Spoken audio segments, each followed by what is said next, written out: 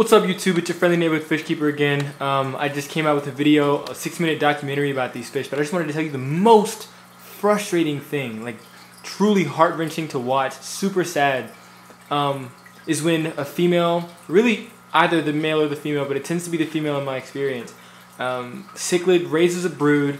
Um, they've had this brood for over a month now, about a month and a half, and they're growing very quickly. They're doing very well. All of them are pretty healthy, and they look like a majority of the fry, if not all of the fry, have survived uh, the predation attempts by the other fish in the tank. You can see here that there's some infighting, because um, after a while, you know, the brood, I mean, the uh, pair bond does start to dissolve.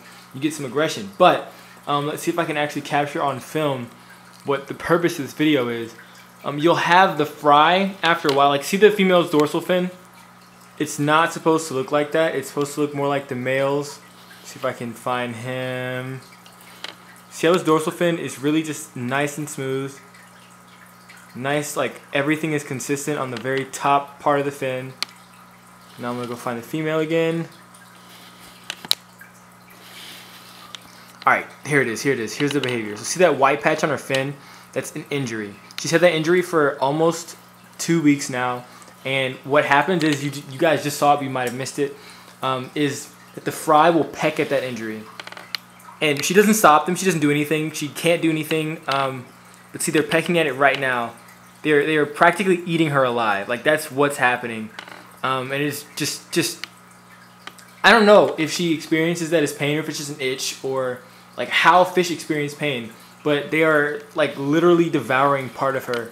Um, as her body tries to heal that injury, uh, it can't, and it's just really really frustrating to watch because like what do I do? You know, I can um, I don't have the tank space currently to, to remove the fry from the female or vice versa. I'm thinking about getting rid of all the adult fish in this tank and just giving this tank to the fry. Um, but I would miss these fish because frankly these fish are just slam gorgeous. This is this is a very very handsome male Salvini, very healthy, um, and the female is like pretty cute too. But it's just it's just really saddening to watch.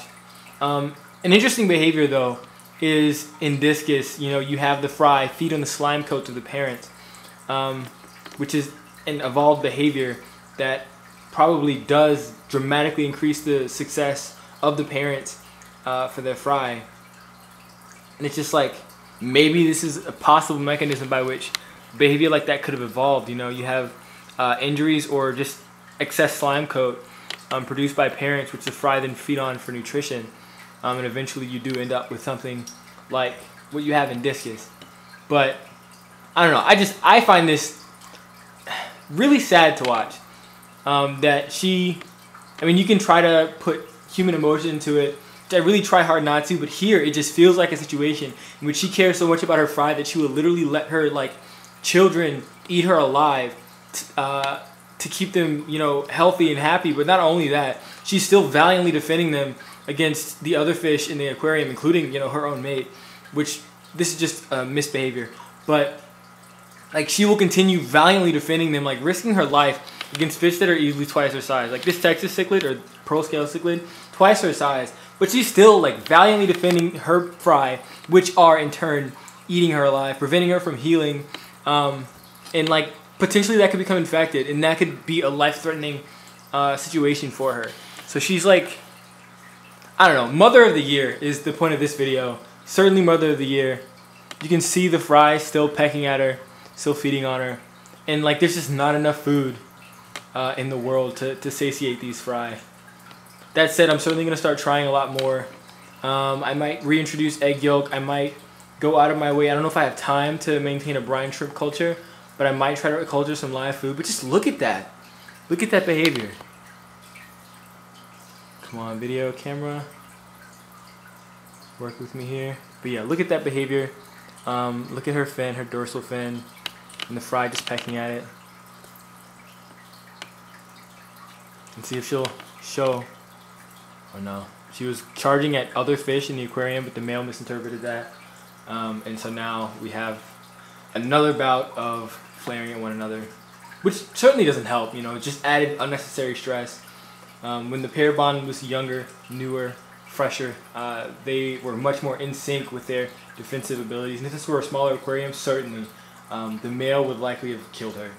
Uh, just because the conflict would happen a lot more often, um, and she wouldn't be able to get away. But she wouldn't back down either because she just has all this maternal instinct, and so he wouldn't back down because he's just the larger fish, the more dominant fish. There she goes defending against the other fish in the aquarium. But yeah, uh, thanks for watching, guys. Just wanted to share that with you guys. Um, for those of you who don't know about cichlids, you know this is just something to watch out for if you're trying to breed.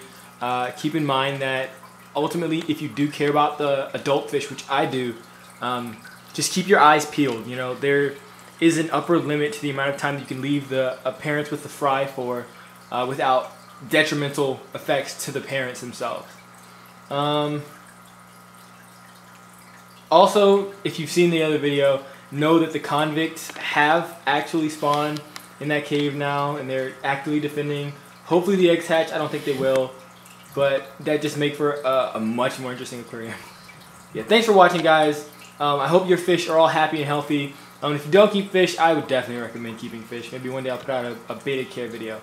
Um, take care. Be sure to watch my other videos. Um, watch some other videos just in general about fish, about nature. Um, and thanks for watching. See you next time.